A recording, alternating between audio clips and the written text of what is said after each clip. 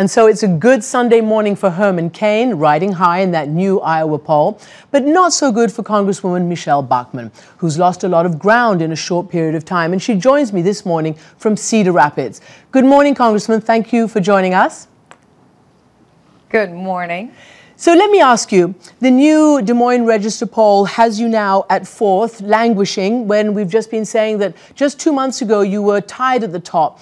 Is it going to take some kind of a miracle now to resurrect your campaign?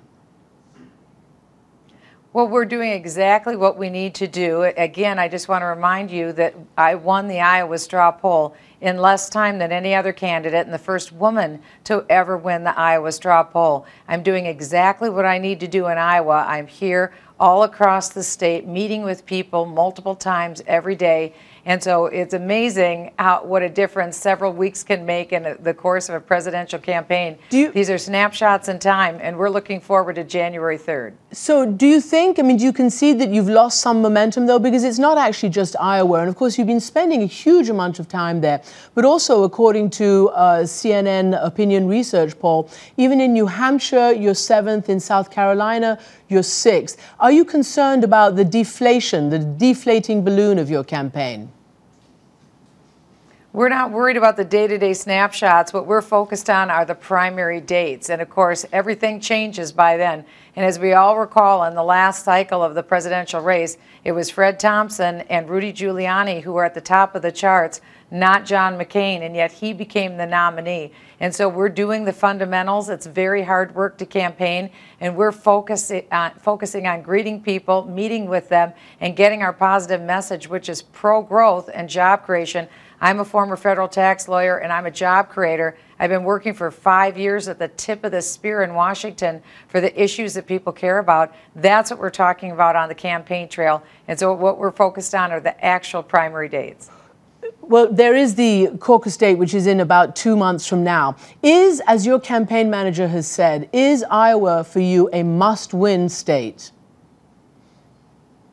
Well, of course, we're focused on Iowa. We're focused on the schedule and the primary process. Iowa's the first caucus, then on to New Hampshire, and after that, the first in the South, which will be South Carolina. So we're focused on the schedule that the states are now agreeing on, and that's our that's our order. But is it a must-win for you? Well, we're focused on it as we are in all the states, and so we're we're. What would happen if you didn't? We are in all of them. If you didn't win there, what would happen? How, how could you sort of rationalize going forward? Would that doom your effort? Do you think? you know, really the most important thing right now is the positive message that we're putting out in every state. People see me as a reformer and a fighter. That's what sets me apart in this race from all of the candidates. I spent five years in Washington, D.C. at the tip of the spear. I was the lead person fighting President Obama against Obamacare. I wrote the bill to repeal Obamacare, and I wrote the bill to repeal Dodd Frank, the Jobs and Housing Destruction Act. That's what people see. I've exercised leadership in Washington, D.C., and people know that I say what I mean and I mean what I say, and they know they can trust me. I don't flip flop. I stand strong on issues and I fight, and that's what we need in the White House to take on President Obama for 2012. Congresswoman, let's talk about some of the issues. You have called it a declaration of war, that the plot by Iran, the alleged plot to assassinate a Saudi diplomat here in the United States, you've called that an act of war. As a president, as President Bachmann, what would you do? How would you retaliate to an act of war on American soil? I think the one thing that I would do that is very different from President Obama, I wouldn't take my eye off of the fundamental problem in the Middle East today, which is an Iran seeking to gain a nuclear weapon. This will change the course of history once that occurs. And what I would do is take everything at our disposal to make sure that Iran does not have a nuclear weapon. They've already stated that they would use a nuclear weapon to wipe Israel off the face of the map. That must never occur. Iran has also stated they would be willing to use a nuclear weapon against the United mm-hmm. States of America. I think if there is anything that we have learned over the course of history, it's, it is that when a madman speaks, we should listen. Mm-hmm. And I think in the case of Iran, that is certainly true. Uh, Congresswoman, of course, the United States is concerned about the nuclear program. Iran denies that it has one, so it hasn't threatened to use them. But the real question is what would happen? How would you retaliate as president if there was an uh, act of war, as you've called it, on American soil? Would you at least consider well, the use again, of force?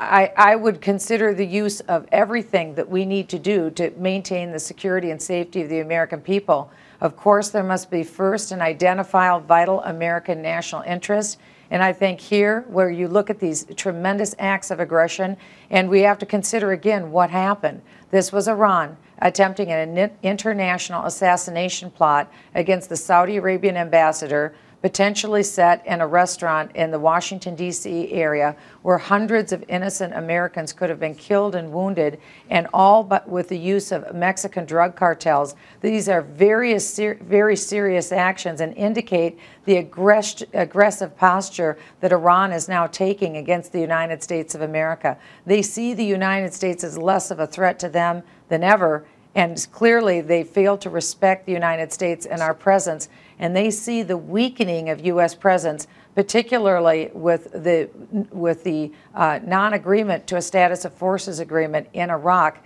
and the pullout of, of, of the United States so, by the end of December. Congresswoman, you've just said that you would have all options on the table. Let me move on to Libya. You have said that you disagreed with President Obama that Libya and the action there was not in America's national interest. So, as President Bachmann, if you had not taken that decision to lead and to support the NATO option, there would be presumably tens of thousands, hundreds of thousands of people dead in Benghazi, and Muammar Gaddafi would still be in power. Would that, is that what President Bachmann would have wanted? Well, clearly, again, it was Defense Secretary Gates who stated that there was no American vital interest in Libya. That is the precursor for the United States' involvement in another, in another nation's affairs. I believe that it was the wrong decision for President Obama to take. And he said that his reason for United States involvement, and he unilaterally made that decision on his own without going to Congress, he made that decision, he said, for humanitarian purposes. But clearly, this was about regime change. That was the focus of the president. And so now we have a mess in Libya. We don't know who the ruling party will be going into Libya. There are some indications Jibril uh, is an early leader, but we don't know if that's what ultimately will be. There's essentially a war right now between factions in Misrata and in Benghazi. So this clearly is not settled what the leadership or what the future course of Libya will be. There's tremendous uncertainty and chaos. And of course, when there is uncertainty and chaos in a nation, that's when you see troubled and potentially Just, extremist elements that could come into power. That would not be good for the United States' interests in that area. Again, uh, just briefly, Muammar Gaddafi, who launched uh, terrorist plots and acts against the United States, is no longer. So now that we see the end game, you've seen what's happened.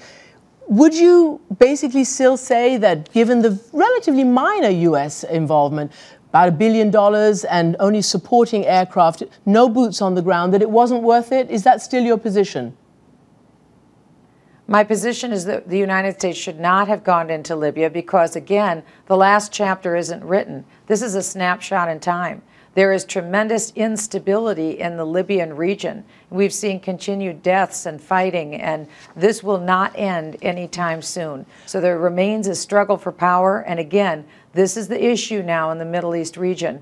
Who will ultimately hold seats of power? Uh, Egypt yet is unknown. Who will ultimately control that seat of power? Will it be the Muslim Brotherhood? Will it be extremist elements? And of course, that's true in Libya as well. Will it be extremist elements that rule? And in Libya, this is very important because of the oil revenues, and oil revenues, as we know, could potentially be used to further finance a global caliphate and extremist elements. So this is far from settled in Libya.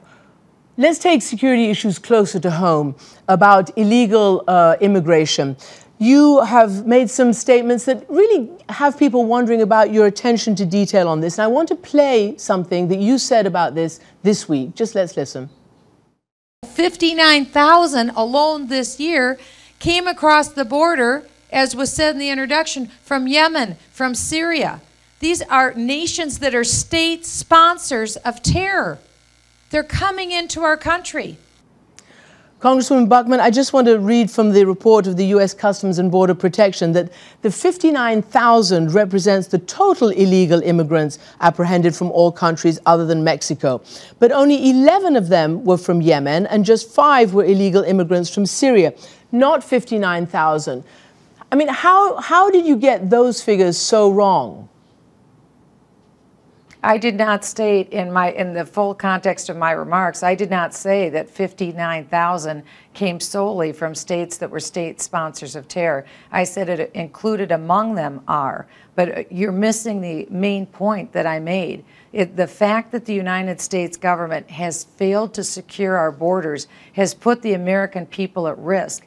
If there was even one individual that came illegally across our border from a state sponsor of terror, that alone would show the failure of the United States government. The fact that we have 59,000 other than Mexicans coming across in one year certainly poses a threat.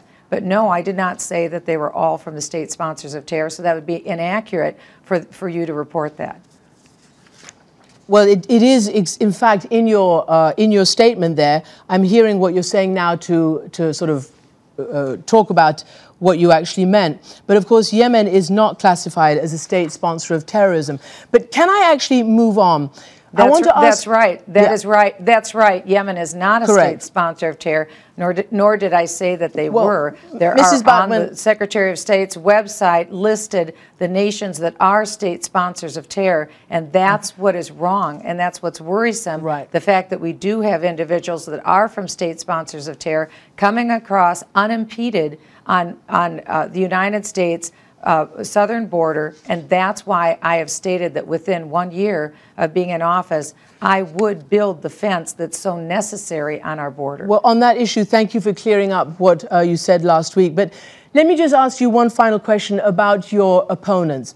You have uh, basically said that Governor Perry is taking, and as you said, imitation is the sincerest form of flattery, taking your ideas when it comes to his uh, tax proposals.